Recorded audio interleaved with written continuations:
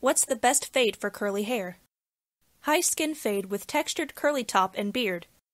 Mild taper fade with wavy texture top. Low skin fade with lineup and curls. Wavy brushed back hair and beard. High fade with thick curly hair. Wavy quiff with low fade and shape up. Long curly fringe with bald fade.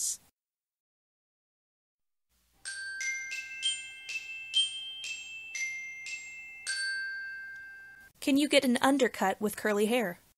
Yes, the curly hair undercut may be one of the best hairstyles for men with curly or wavy hair. Because curly hair is difficult to tame and style, a curly undercut can make your morning routine easier by trimming the sides short enough not to need any styling attention.